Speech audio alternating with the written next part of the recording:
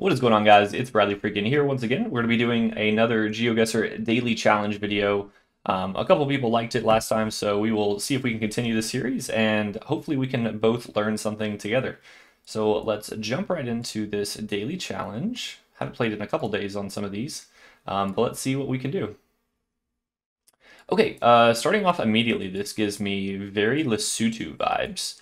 Um, yeah, almost definitely. The trees here are a little weird. Usually whenever we talk about the Lesotho Eswatini, um, we talk about the trees being in Eswatini, and you almost never see trees in Lesotho.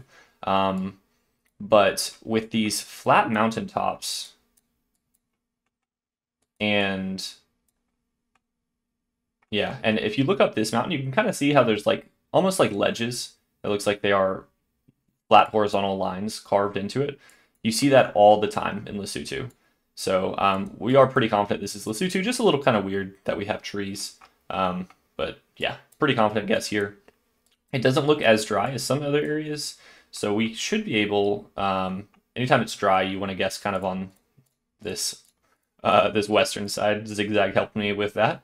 So I think that we're going to go with a kind of more central vibe, more in the greener areas, and see what we get. Yeah, not too bad. About 30 miles away, which is not too honestly not that impressive considering Lesotho is is pretty small, but um, good guess here. So we're gonna continue forward to round two. Looks like we are put down in Mongolia.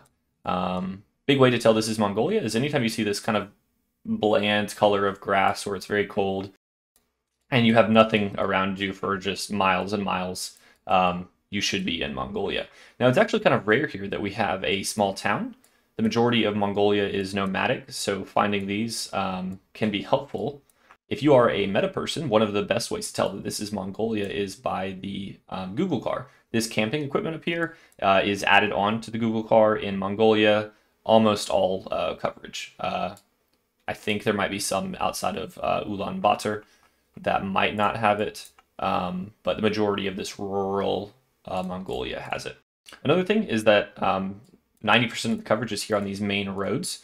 So you typically don't want to go off here in these places where there is no where there are no roads.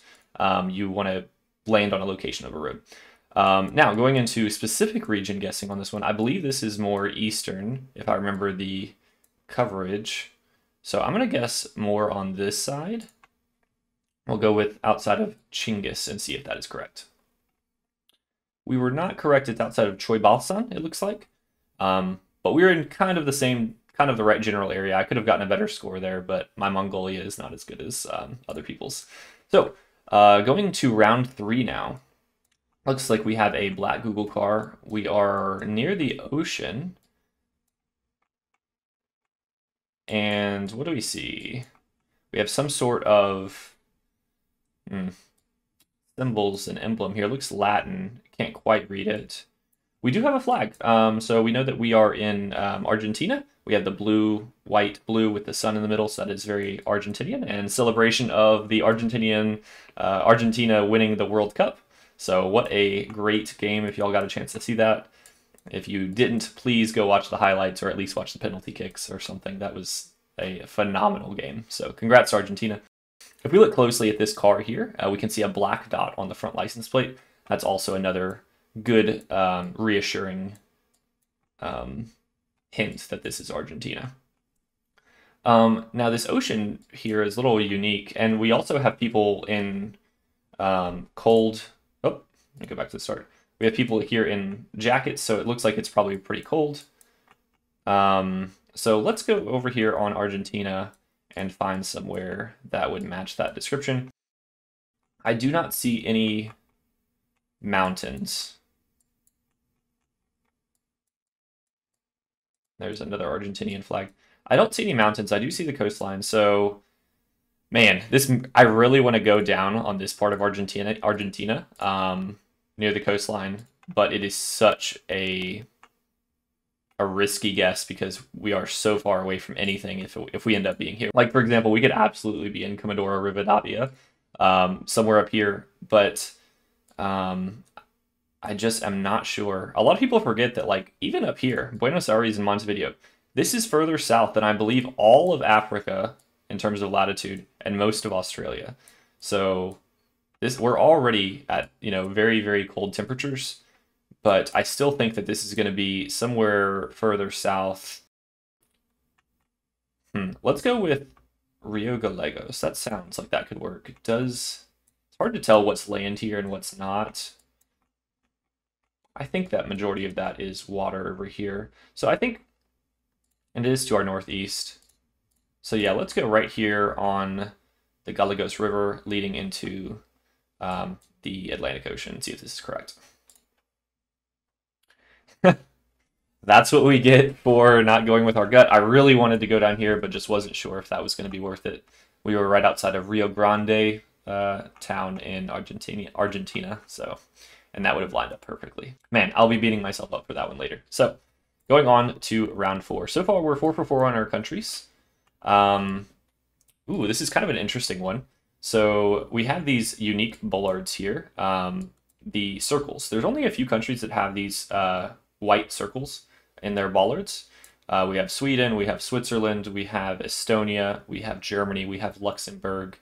Um, I'm sure there's something that I'm missing. Um, but there are tiny details that make make me think that this is we kind of can narrow it down.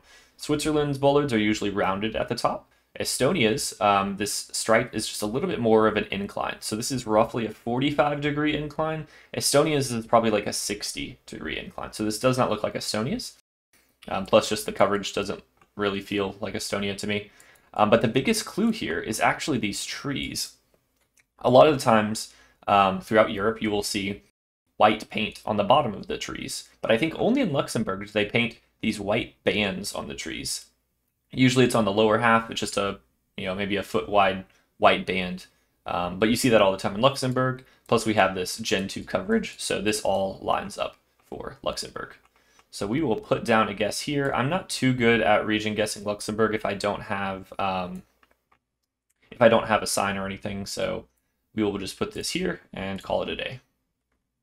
Yeah, and we were right outside of uh, the city. So not too, too far. We were about three miles away. So Going on to the last round, let's see what we find. And this one sucks. Um, we are in some rural area. Not sure what we're finding in terms of hints here. We don't see any unique foliage. So we are going to have to end up moving here. Um, if I had to hedge towards a country, I would probably bet Belgium right now. But again, we have not seen any signage. We haven't seen any license plates. So this is quite difficult. We do start to have some buildings here. And I do think Belgium still stands as a decent guess. See if we can go a little deeper here. We have a yield sign. We have a bollard, but we don't have another bollard on the other side. This is very Luxembourgish. I wonder if we are in Lux. It's kind of weird uh, footage if it is. Sorry, this is definitely taking a little bit longer than our other rounds. Um, and it looks like we do have the yellow plates, so that would further solidify Luxembourg. Yeah, I think that Luxembourg is probably a safe guess here now. Just a little strange, because usually you have that Gen 2 camera. Um, oh, and we do have the yellow uh, waystone, which you see that a lot in Lux. And if we want to be real specific, CR, CR, we're on CR336. so We have 30 seconds. We could probably actually get very close to a 5K here. The numbers, I believe, get further away, but usually the numbers are beside each other. So like 120 would be near 121. So here's a 300, 331, 332, 333, 337, 336. Here's 336. So we were not initially on this road. I think we came onto it maybe here. Wow. Yeah, 49.98. So we almost got the 5K, but again, we did have to move on uh, that last location. So hopefully you guys enjoyed the video, maybe even learned something today. Uh, let me know if you guys have any other video ideas for content in the future. I'm always looking for new ways to play GeoGuessr. So hit me with that like button if you did enjoy the video. And as always, thanks for watching.